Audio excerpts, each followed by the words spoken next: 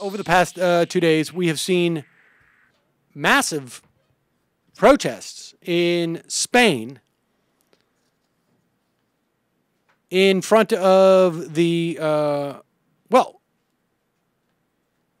throughout, I guess, well, uh, in Spain, we've seen these protests, and it's also sort of like, you know, there's always been this uh, Catalonian separatist uh, movement. Is that right? In uh, and it is it is gaining a little steam uh, because of this. You've got uh, massive protests in Spain um, as the Spanish government is about to impose another round of austerity cuts, and in Greek, in Greece, excuse me, hundreds of thousands of anti-austerity protesters took to the streets yesterday as the uh, country was paralyzed by a general strike. The interesting thing about this general strike, it includes uh, not just uh, public and private sector unions, but also cops,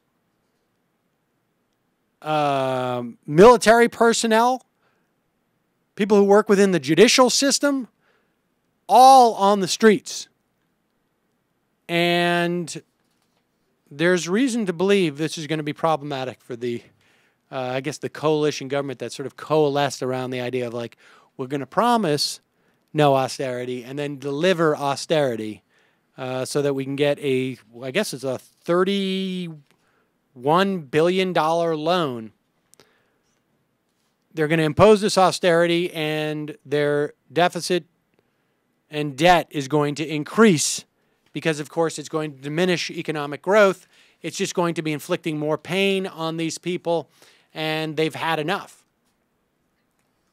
So uh, Europe is becoming problematic again. I don't think that it ever ended. It just was quieted for a brief amount of time. Hundreds of thousands of people in Greece marching.